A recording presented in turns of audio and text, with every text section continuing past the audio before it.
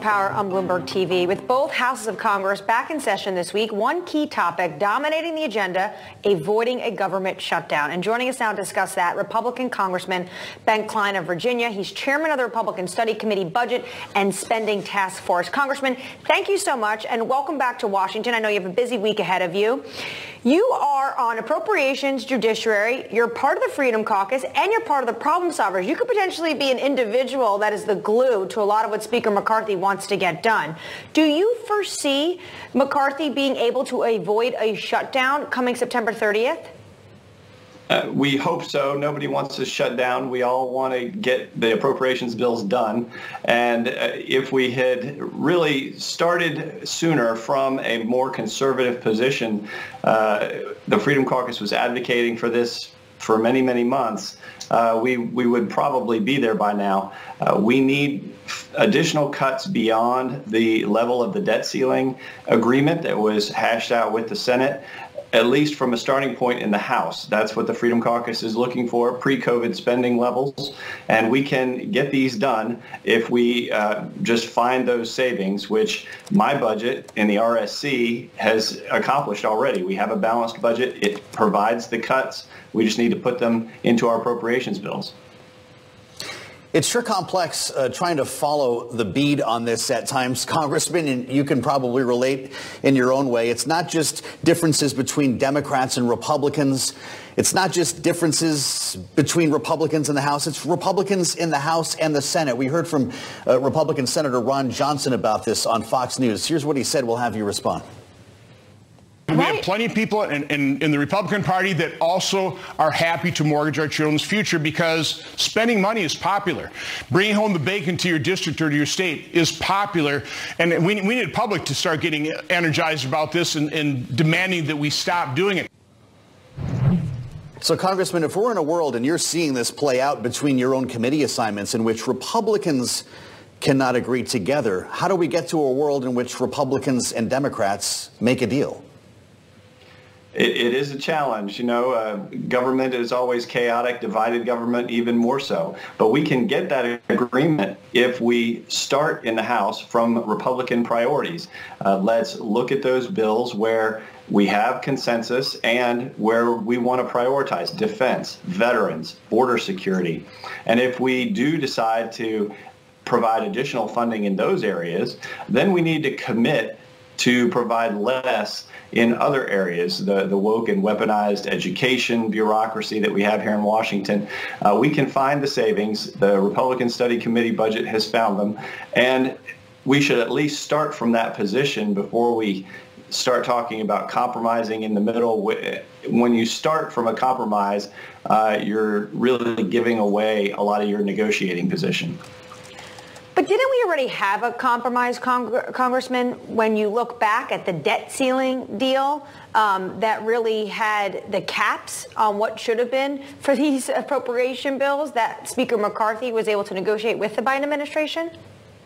Well, you had more Democrats voting for that debt ceiling bill than Republicans. And so I was one of the ones who voted against it. I voted for the House version because the House version was conservative, but the final version gave too much away. It extended the debt ceiling uh, limit uh, deadline past next November's presidential election. So our ability to So we're uh, reopening up that deal then? Is Speaker McCarthy basically reopening up that, that deal? He gave he made a deal with the Biden administration?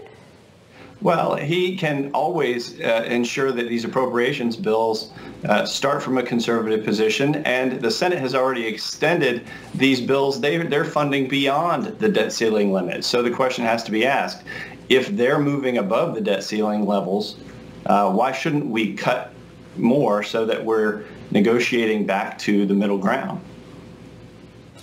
You are the Republican chair, Congressman, of the Study Committee Budget and Spending Task Force, which doesn't get a lot of talk around here, but you basically have to field all of the budget requests that are coming in from members. If you think the government is spending too much money, do you tell them no? Uh, actually, the people who are submitting suggestions to the Republican Study Committee budget. You know, the Republican Study Committee is the largest caucus of Republicans uh, other than our Republican conference. So it's about 180 members. And mm-hmm. those who are submitting suggestions to this document are conservatives. And so they're looking for ways to save taxpayer dollars. Now we have a balanced budget. It, it balances and actually in seven years. So Ron years. Johnson is not correct then. Just to be clear, Congressman, Republicans are asking only for cuts. No one's asking to bring the bacon home to their district, as he said. Oh, there are plenty of Senate Republicans who want to spend beyond the debt ceiling limits, and they're pushing these appropriations bills through with bipartisan majorities. So they are. I mean, in your own conference, House House members asking you or making requests to your committee. There are House members who want to spend above, but they are few and far between. And, and for the most part, we are actually uh, providing the cuts necessary to get uh, these bills passed. We have to pass with conservative. Uh, we have to get to 218. The Democrats aren't going to help us, so we have to make sure that these bills are conservative enough. And adding something like H.R. 2, the immigration bill, the border security bill, uh, which got 218 Republican votes, uh, should be a no-brainer because you're just voting for something you already voted for once. Uh, Congressman, I also want to ask you, Speaker McCarthy has spoken a lot about this potential impeachment inquiry, and it's something definitely the Freedom Caucus or members of some members of the Freedom Caucus want to see. Is that still going to be on the table come, come this uh, come this session? It is, and is under discussion. McCarthy has said he's open to it, and I think there's enough evidence to at least start the impeachment inquiry.